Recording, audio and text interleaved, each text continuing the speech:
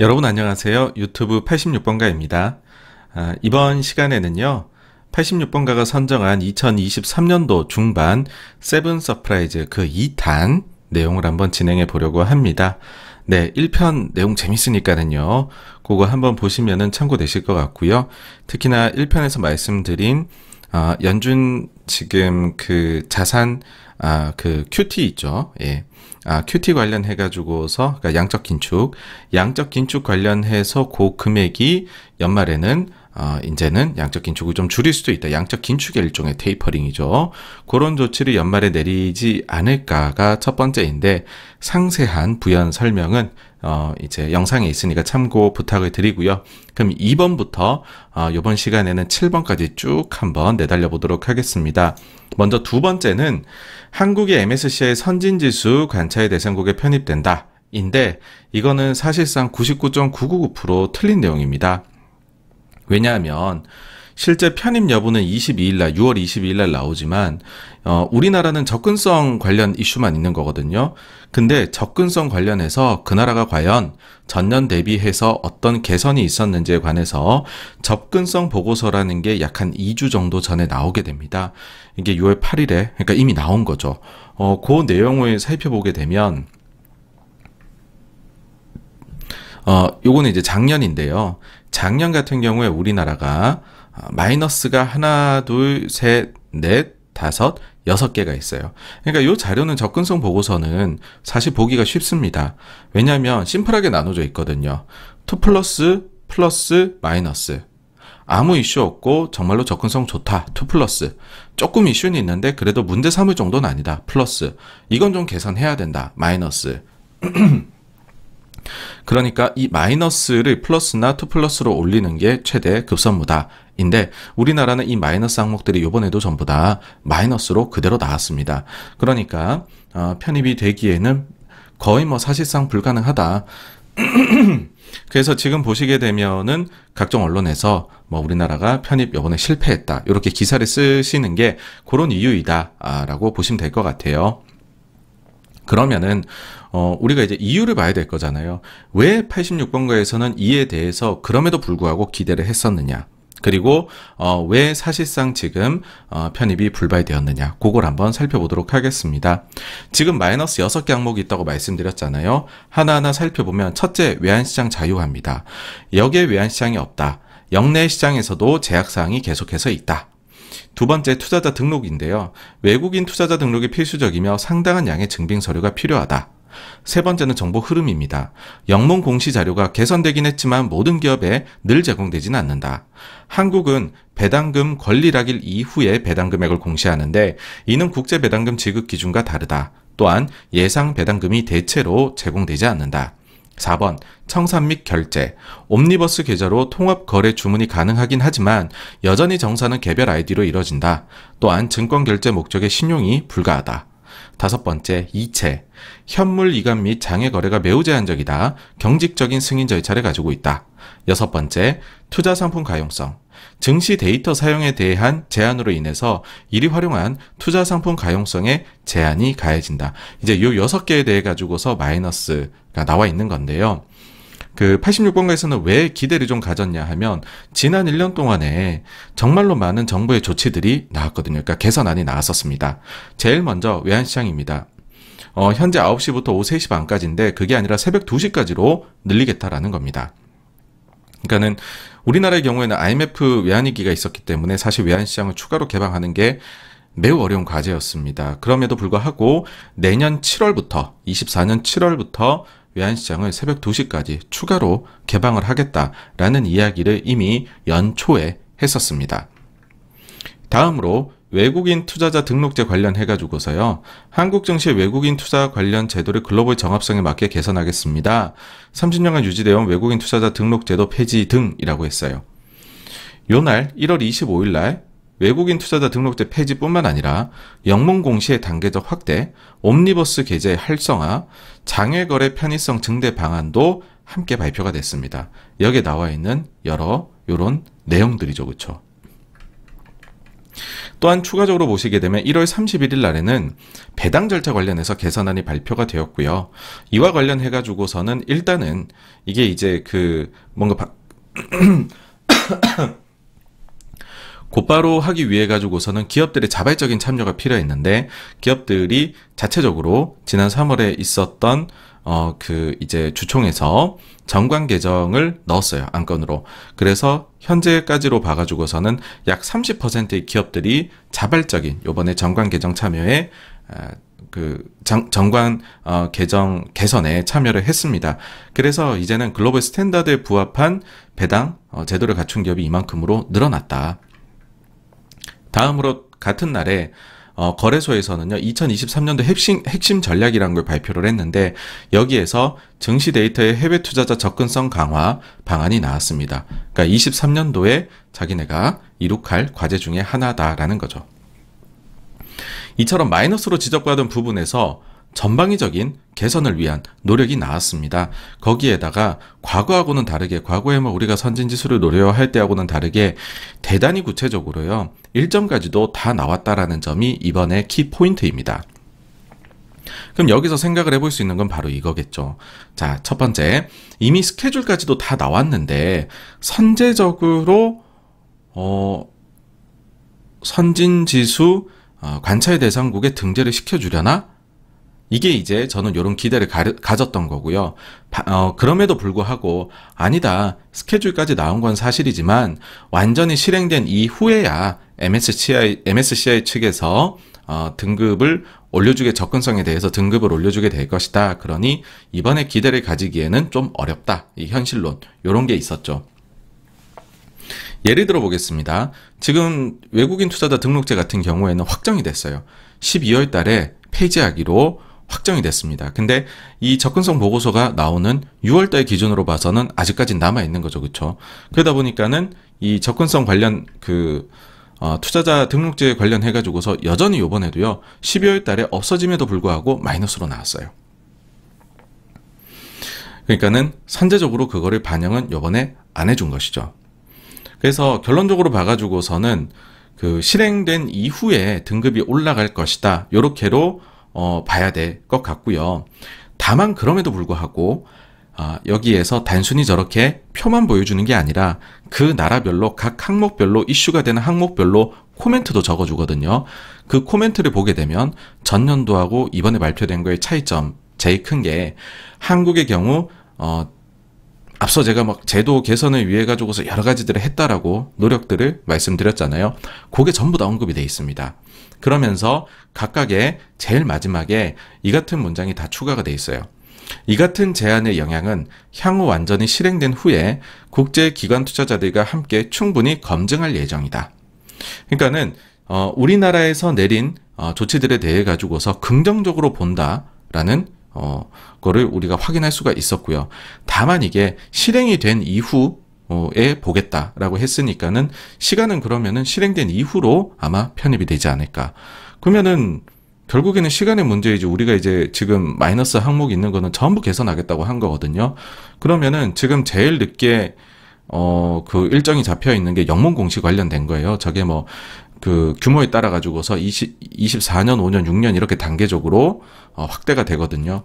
그러면은 그 일정 끝나는 거에 맞춰 가지고서는 우리가 편입을 노려볼 수 있지 않겠느냐 이고 그리고 이번에 MSCI 측에서 우리의 노력에 대해 가지고서 어떻게 평가하는지가 나왔으니까 사실 여기서 조금 더 행복 회로를 돌려보자면은 그러면은 그 시기를 조금 앞당길 수도 있는 것이 정치권의 뭐 그런 노력들도 나올 수 있는 것이 아니냐라고 생각을 합니다. 그리고 또 한 가지는요. 어, 이 과정에서 나온 조치들이 그동안 우리나라에 대해서 투자를 꺼린 투자자들을 불러 모으는데 분명히 도움을 주게 될 것이다 라는 거죠. 가령 예를 들어서 제가 외국인 투자자예요.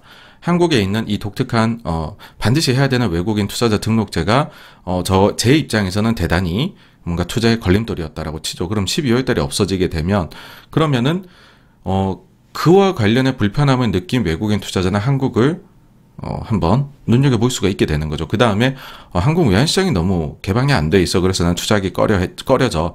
했던 투자자 입장에서는 아, 그럼 24년 7월부터는 시간이 많이 확대가 되니까 그러면 그때쯤부터는 또 들어올 수도 있는 것일 거고요. 그러니 우리가 선진 지수를 향해 나아가는 과정에서 개선해 나가는 이러한 제도들이 결국은 외국인 투자자들의 이목을 끌게 될 것이고 우리나라로 들어오도록 만드는 요인이 되지 않을까라고 생각을 합니다. 그래서 어, 요 관련해 가지고서는 꼭 좀 보시면은 도움이 되실 것 같다라는 거고 참고로 한 가지만 더 말씀을 드리면 모든 부분에서 2 플러스를 받을 필요는 현실적으로는 없다라는 겁니다. 어, 현재 선진지수에 편입되어 있는 캐나다, 이스라엘, 포르투갈, 일본 같은 경우에도 어, 그냥 one plus인 것들도 두 개가 있어요. 그 다음에 아일랜드 스페인은 심지어 one plus인 거 하나, 마이너스인 것도 하나가 있습니다. 그럼에도 불구하고 선진지수에 남아 있습니다.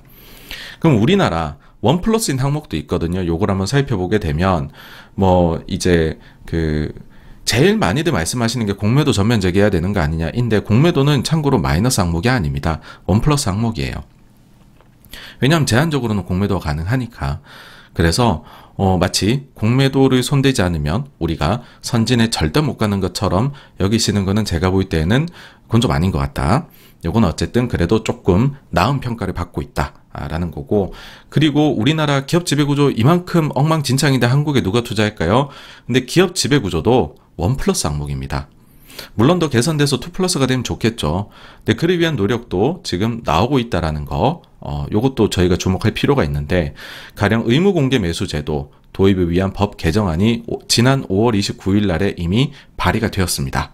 그 다음에 자사주 소각을 의무화하기 위한 논의가 현재 굉장히 활발히 진행 중이고 이런 조치들은 지배구조 개편에 아 지배구조 개선에 도움을 주는 어, 조치들입니다. 그래서 어, 한국에서 계속해 가지고서 선진화하기 위한 방안들이 나오고 있다는 거, 긍정적 방안들이 나오고 있다라는 거고요. 작년 11월로 한번 돌아가 볼게요. 그때 당시에 골드만삭스에서 우리나라에 대해 가지고서 매수로 의견을 상향하는 레포트를 낸 바 있습니다. 그때 당시에 한국이 MSCI 선진지수에 편입될 수도 있을 것 같다. 근데 그러면은 한국 증시에 좋을 텐데 기대되는 효과는 두 가지 경로다. 첫 번째는 뭐냐 하면 외국인 자금이 500에서 550억 달러 유입이 될 것 같다. 어, 근데 요 영향보다도 두 번째가 더 기대가 크게 되는 어, 요인인데 뭐냐 하면 한국이 이 과정에서 지금은 선, 신흥지수의 valuation을 받고 있지만 선진국 수준의 valuation을 받게 되면 valuation 재평가가 나타날 것이다. 왜냐하면 선진국 수준으로 많은 게 개선이 된 상태일 테니까. 그러면 valuation 재평가만으로도 30%가 더 오를 수 있다. 이런 식으로 얘기를 했습니다. 그래서 결국에는 제도 개선이 굉장히 중요하다라는 것을 강조했다라는 거 보시면 될 것 같고, 근데 뭐, 어, 엄밀히 말해서 너 지금 틀렸어, 맞췄어 하면은 틀린 겁니다. 네. 틀렸지만 알아두면 좋은 거죠. 다음으로 세 번째 surprise는 제가 선정한 거는 한국은행이 연말에 금리를 인하하게 될 것 같다입니다. 뭐 다른 게 아니라 일단 물가에 대한 부담이 한국은 중국을 제외하면 가장 적습니다. 우리는 이제 3% 초반까지 물가 상승률이 떨어졌거든요. 그리고 우리나라 물가에 영향을 많이 미치는 수입 가격 지수 30% 이상까지 치솟았다가 지금은 마이너스 됩니다. 그러니까 물가 안정이 계속 기여가 된다라는 거죠. 유가에서만 특별한 이벤트가 발생하지 않는다라면, 그러니까 유가가 너무 많이 치솟지 않는다라고만 하면은 우리나라의 물가 안정은 네, 꽤나 용이하게 이루지 않을까. 여기서 한 가지 다시 한번 강조드리고 싶은 게 물가 안정이라고 말씀드리면은 어, 디플레이션을 생각하시는 분들이 많으세요. 그러니까 인플레이션, 디플레이션, 디스인플레이션은 구분을 하셔야 됩니다. 그러니까 어, 중앙은행이나 아니면은 경제 정책을 펴 나가는 사람들이 얘기하는 거는 디스인플레이션입니다. 6% 7% 높게 나오던 어, 물가 상승률이 2%로 물가 상승률이 떨어지게 되면 디스인플레이션 안정적이다. 물가가 떨어졌다라고 얘기를 해요. 근데 흔히들 많은 어, 일반인 분들이 생각하실 때는 물가가 떨어졌다라고 하면 디플레이션이 와야 되는 거예요. 만약에 물건 가격이 100원 하던 게 110원이 됐어요. 그리고 이게 112원이 되면 중앙은행 입장에서는 아, 물가가 안정적이에요. 물가 많이 떨어졌네요. 이렇게 표현하죠. 근데 어쨌든 가격은 또 오른 거잖아요. 그 폭이 줄어든 거죠. 근데 어, 일반 경제 주체들이 생각을 할 때에는 그 이제 천원 이제 백, 백 원 만약에 천원 하던 게 천백원이 됐으면 그 다음에 천 오십 다시 천 천원으로 떨어져 줘야 물가가 떨어졌다고 생각하는 거죠. 이건 디플레이션입니다. 근데 그게 목표가 아닙니다. 현실적인 중앙은행들은요. 그래서 그 점을 꼭 명심하시면 좋을 것 같고요. 그러다 보니까는 이게 숫자를 넣어보면은 사실은 이런 식으로 나올 수밖에 없는데 추경호 이제 경제부총리도 어떤 이야기를 했냐면 하반기에 2% 후반의 물가 보일 가능성이 크다. 근데 그러고 나서 이제 연말에는 3%로 다시 이제 내외로 올라가게는 될 거다라고 했어요. 그러니까 이거 자체가 뭐냐 하면 우리나라가 지금 물가 상승 동력은 굉장히 낮아져 있다라는 겁니다. 그래서 주요국들 중에서는 일단은 물가에 대한 어, 부분에서는 중앙은행이 그나마 짐을 좀 덜고 있는 국가이다. 이고 그런 이제 그 긍정적인 면이 인, 뭐 있음과 동시에 또 부정적인 면이 있는 건 뭐냐면 우리나라 경제 체력은 대단히 지금 저질이라라는 겁니다. 그러니까 성장률 전망치가 계속 내려가고 있어요. 우리 내부적으로도 그렇고 외부 기관에서 평가할 때도 그렇고요. 그러니까는 우리는 경제 지금 체력이 많이 약하기 때문에 다른 나라처럼 긴축을 더해 나가기에는 힘이 많이 딸리고 오히려 조금이라도 기회만 있으면은 곧바로 완화책을 쓰고 싶은 아, 그런 경제 상황이다. 그런 이제 현실론을 반영을 해가지고서요 체력이 약하고 물가 상승이 많이 우린 떨어져 뭐 그, 그나마 글로벌 중에서는 안정적이니까는 우리가 제일 먼저 완화책을 펼치게 될 수 있지 않을까라고 예상을 해보는 것입니다.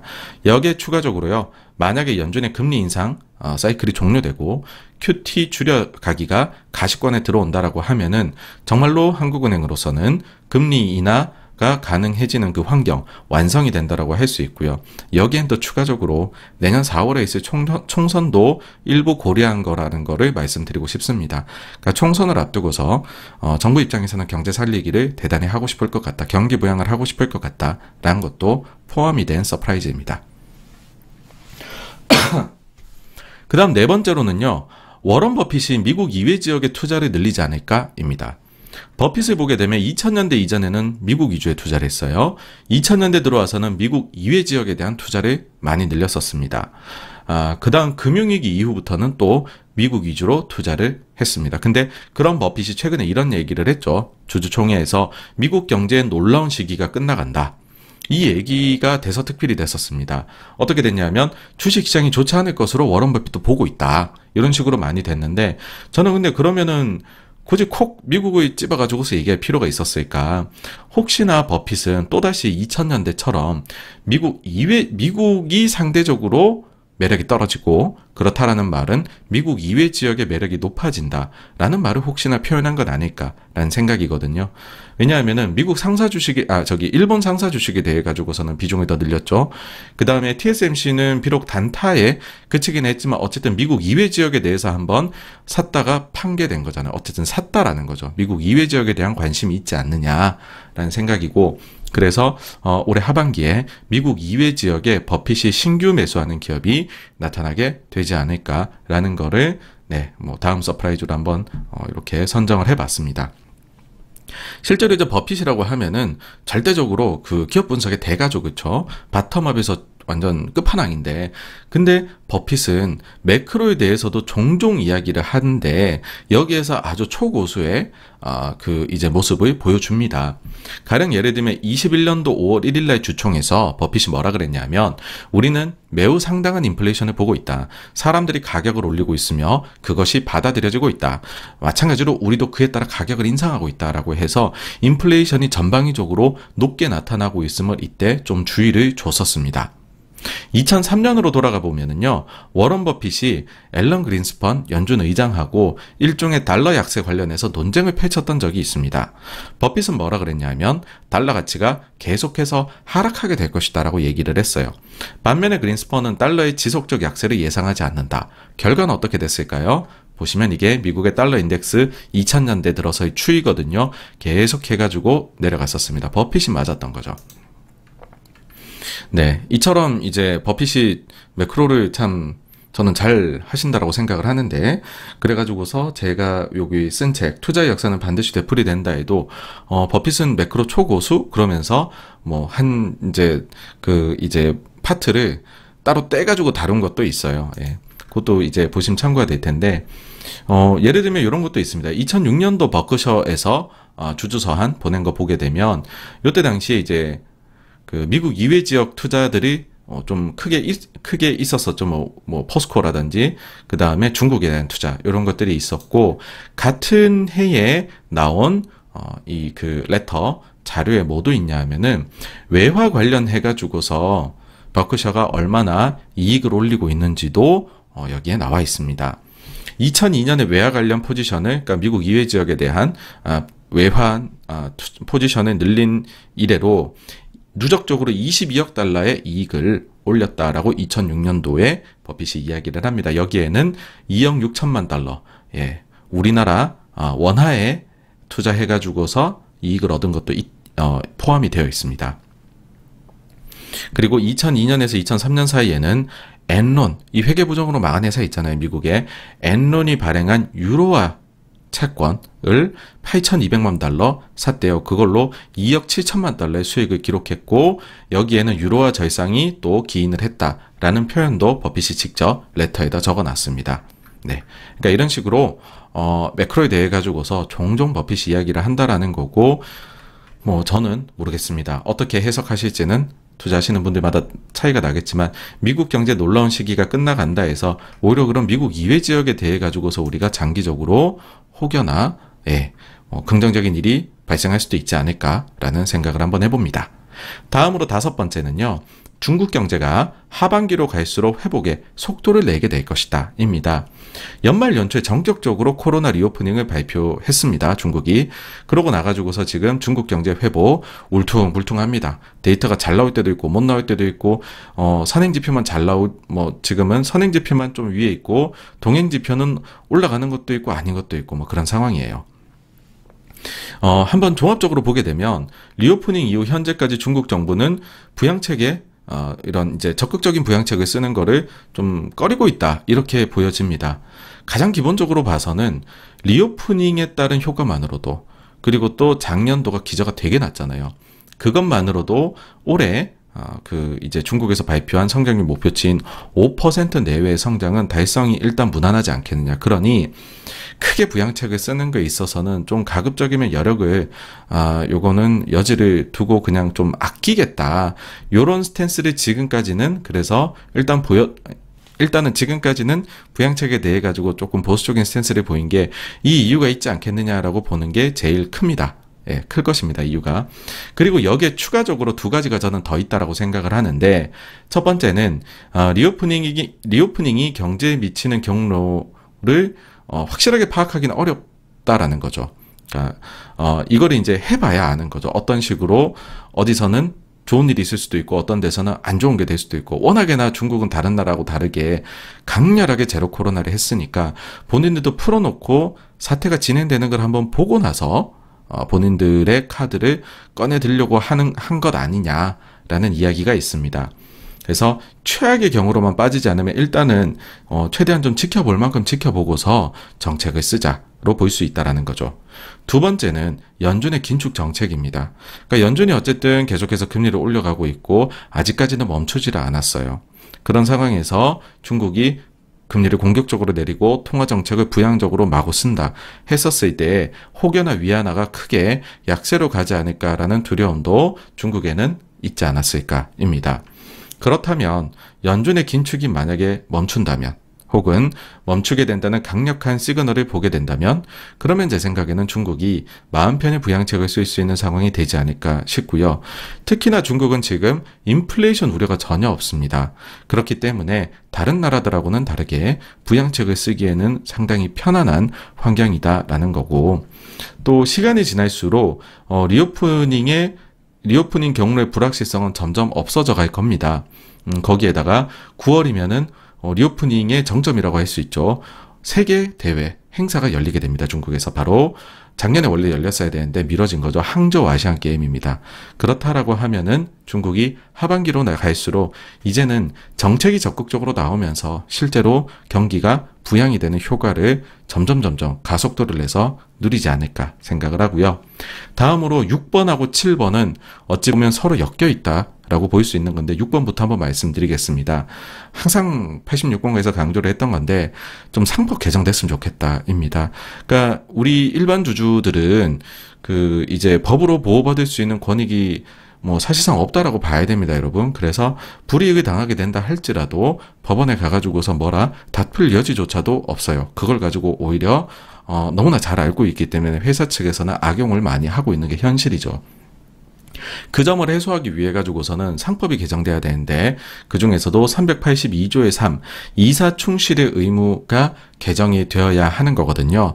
이걸 항상 86권과는 강조를 하지만 그렇지만은 늘 조금 이제 어, 톤을 낮췄었죠. 아 이게 됐으면 너무나 좋겠지만은 현실적으로는 어렵지 않으니까 그치만은 꿈은 꿔본다. 라는 식으로요.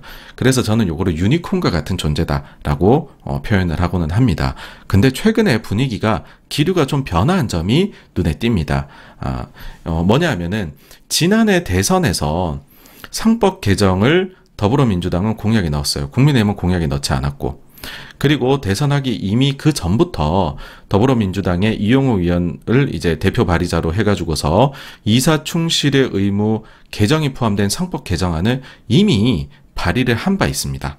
다만 그런데 불행히도 관심을 끌지 못하고 국회 어 그 이제 법제사법위원회 상정도 되지 못한 그런 상황이기는 아쉬운 상황이기는 해요.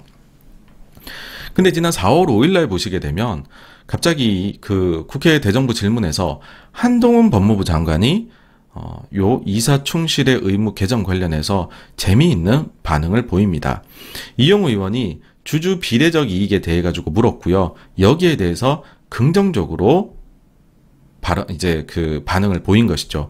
요 영상은 제가 어 저희 그 86권가 커뮤니티에서도 공유를 한 바 있는데 꼭 한번 찾아서 보시기를 요 영상이 2분 30초로 짧습니다. 보시기를 권유를 드립니다. 네. 그래서 어 이게 뭐야? 더불어민주당에서만 관심 가지는 게 아니라 국민의힘이나 여당에서도 관심을 가지는 건가? 이렇게 돼버리면 이게 재미나게 돌아가는 거거든요. 그 사이 사실 그 더불어민주당에서 이와 관련해 관심을 보이긴 했지만은 그게 또 찻잔 속의 태풍에 불과하기는 했었어요. 당 전체적으로 이걸 민다란 느낌은 전혀 없었거든요. 근데 요게 4월 5일이었잖아요. 갑자기 이제 여당에서 관심을 보이, 보여 서 그런 건지 갑자기 4월 18일 날에 며칠 지나지 않아 가지고서 어 이제 당 대표까지 참여를 해서 갑자기 간담회를 개최를 합니다. 그래서 어, 상법 개정 관련해 가지고서 좋은 얘기들을 이 자리에서 어뭐 이와 관련해 가지고서 꽤나 명망 있는 인사들을 불러 가지고서 간담회를 개최를 했더라고요. 요 영상도 한번 보시면 재미나실 겁니다. 저는 그런 생각이 들더라고요. 어, 만약에 국민의힘에서 이 개정하자라고 해버리면 어떻게 될 거라, 될 거냐는 거죠. 그러면은 이미 더민주에서는 발의를 해놨는데 그럼 그거 그냥 통과시키죠. 라고 해버리면 처음에 관심은 내가 가졌는데 주도권은 빼앗기 위기에 처해진다라는 거죠. 그러면 진짜로 하겠냐? 국민의힘 쪽에서 역시나 저는 이 모든 게 관련되어 있는 게 총선이라고 생각을 하는데 결국 경제에 대한 부분을 지지율 측면에서는 강조를 할 수밖에 없을 것이고 그럼 주식 시장도 경제 일부이다. 제도 개선을 통해 가지고서 코리아 디스카운트가 해소가 될 수 있다면 얼마나 좋겠습니까? 그렇죠?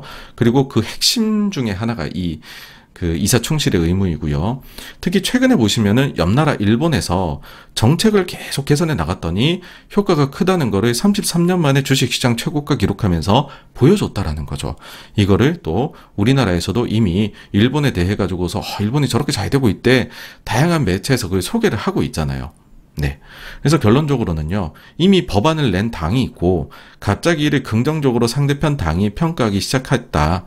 그래서 유니콘으로 보였었는데 이제는 재미있는 상황이 된 것 같다라는 겁니다.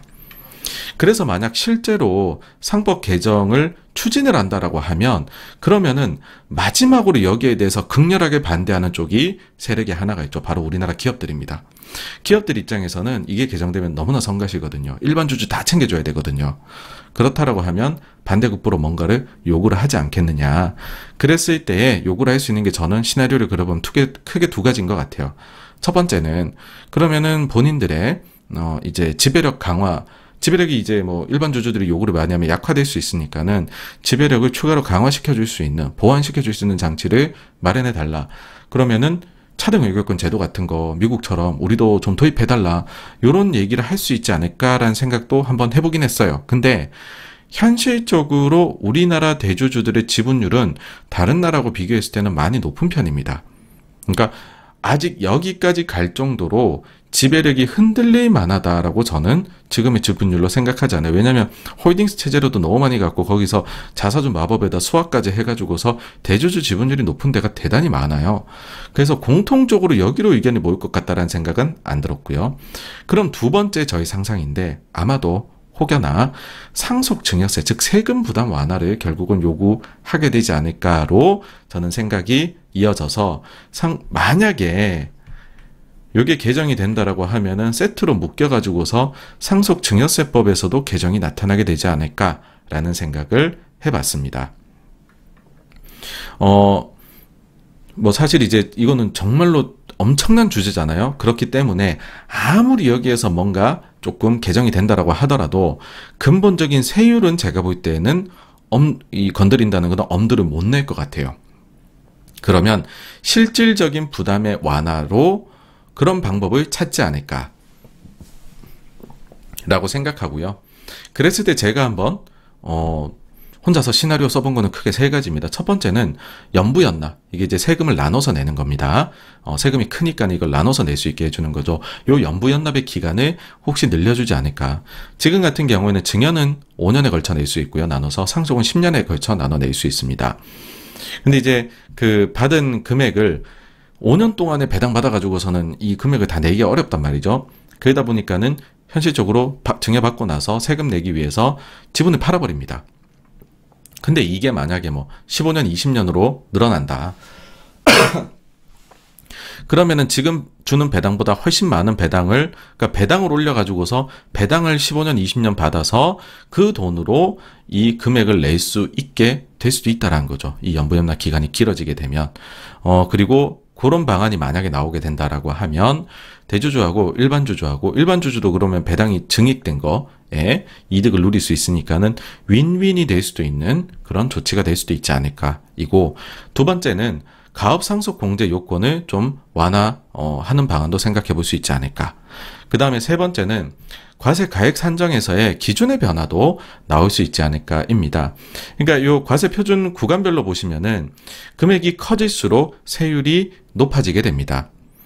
한번 예를 들어보죠. 예를 들어서 100억이다. 예, 세금을 내는 게 100억이다. 그럼 나머지 뭐 나머지 다른 거 뭐 공제 받으실 거 다 그런 걸 이제 그 제외를 하고 그냥 이건 순수하게 여러분들이 쉽게 알아보실 수 있도록 가상의 예를 드는 것 뿐입니다. 실제로는 그보다 훨씬 복잡하게 세율이 어, 세금이 결정되게 되는데 가령 100억이에요.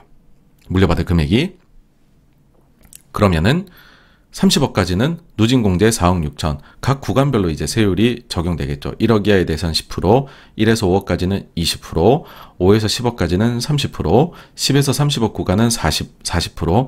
그럼 여기에 대해서 30억까지는 어, 4억 6천 이미 낸 거고 30억 초과하는 거에 대해 가지고서는 50% 세금을 내야 될 겁니다.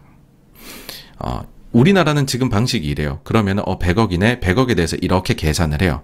그러고 나서 야 너네 몇 명 나눠 받아 해서 만약에 자녀가 5명인데 n분의 1로 나눠 받는다라고 가정을 하면은 그러면은 뭐 20억씩 받게 되는 거잖아요. 근데 본인이 받는 거는 20억인데 세금은 100억 기준으로 나오는 거죠.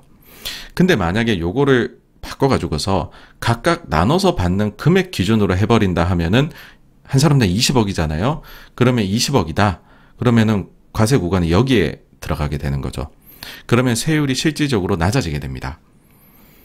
예, 그래서 이런 방법도 한번 생각을 해볼 수 있지 않을까라고 봅니다. 그래서 만약에 이 부분이 개정이 된다라고 하면 현실적으로 반대급부로 무언가를 기업들이 요구를 할 것이고 어, 그 주요한 타겟이 기업들이 숙원으로 내세, 숙원 사업으로 내세우는 건 아마도 세금 쪽이지 않을까라고 생각을 해서 요 7번 상속 증여세법 개정이 될 수 있을 것 같다까지가 네 어, 86번가에서 생각한 어, surprise 내용들입니다.